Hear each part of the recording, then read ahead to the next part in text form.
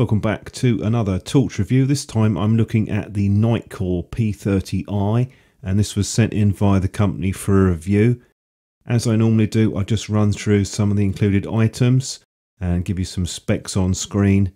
As there's no output ratings, I've just put that up there on the screen for you to have a look at. We'll unbox it. Comes in quite a nice package.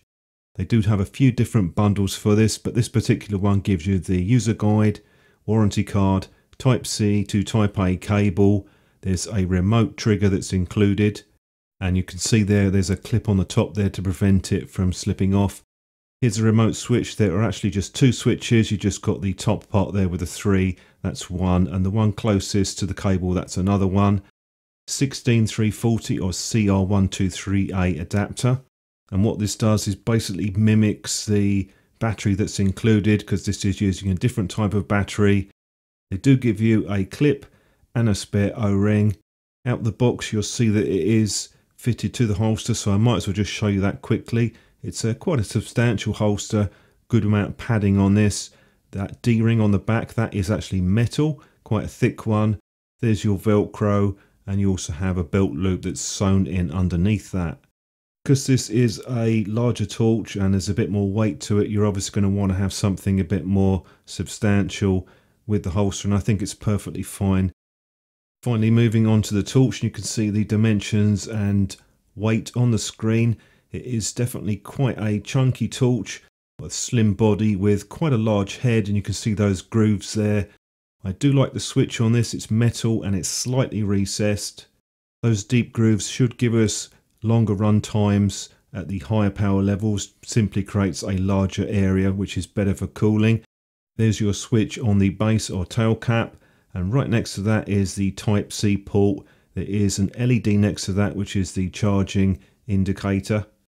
Nice large smooth reflector with this torch and a very well known emitter XHP35.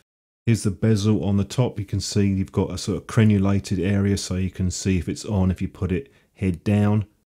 Interesting thing with this is you can unscrew it so I'll just show you that quickly. One reason I picked up a macro lens is so I can get nice and close, show you some of these details. It's quite a thick O-ring on that. You can see the silicone and here's a look inside just to some of the components. Very neat and tidy, very clean soldering. So if you're into your modding, this is going to be pretty easy to get to. You can play around in there if you want to. I'll unscrew the base cap now. You can see there's the contact points and that one in the middle is actually spring loaded. And the reason it's a different configuration is that we've got an I-type custom battery where you have the positive and negative at the top.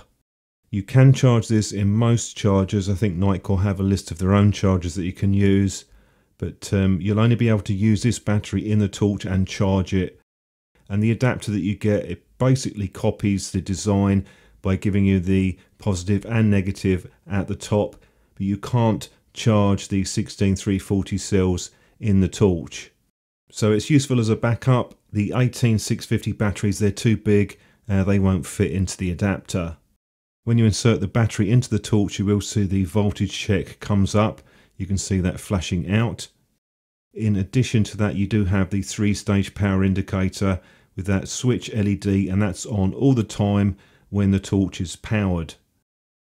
I did attach the clip to the torch, but I personally can't see me using this very much purely because the head diameter is much larger on this torch, so it's not really going to stay in place that well. It does seem strong enough, I just don't think it particularly works that well for this torch, unless you just wanted to attach a wrist strap to it.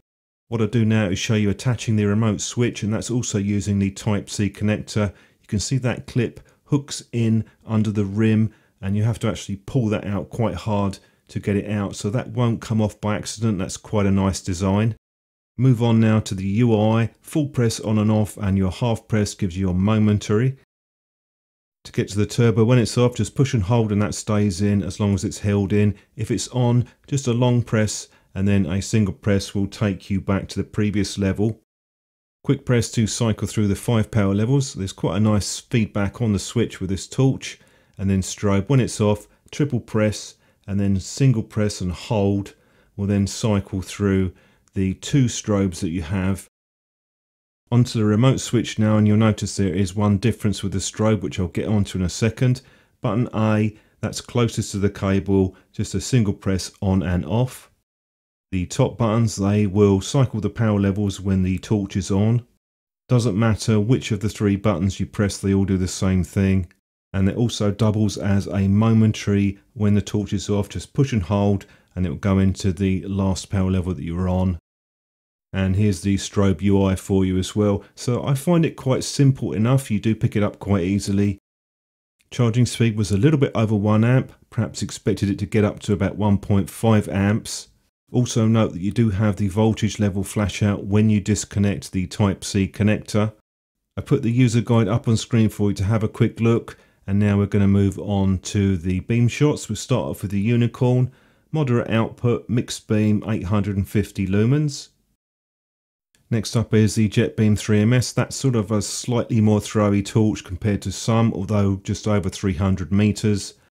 Onto the P30i, you can see the medium level, then I'll go up to the high, 1000 lumens. It does start to spread out the beam pattern. You get a bit more fill on the outside, but you've got that intense hot spot there in the middle, which is of course where we're getting the additional range from on this torch. I've done a few extra beam shots with this torch out on location just to give you a bit more idea with the range. So have a look at those and I will come back at the end, give you a few thoughts on this particular model.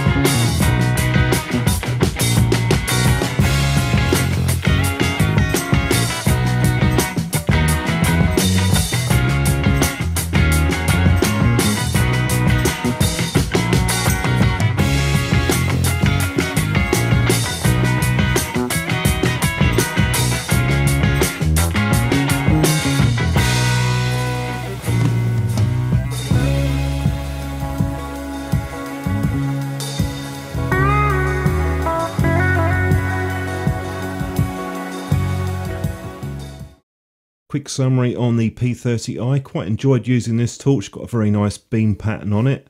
There are a few points to note and those are fairly obvious some of them. The first is you are limited to those custom cells so you're going to have to decide if that's a problem for you.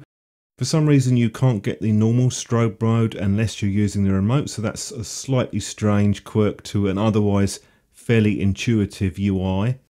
There are quite a few upsides though. We do have the Type-C charging port. It could be a bit quicker, but the charging speed is acceptable. Very good bundle with this. Nice quality holster. You do get that remote switch as well. And it did hold its power level quite well, although do bear in mind it is still fairly cold at the minute and that would obviously not hold up as well in hot weather conditions. Be interested to hear if you've got any thoughts on this torch, if you've used it. Thanks for watching and I will see you soon.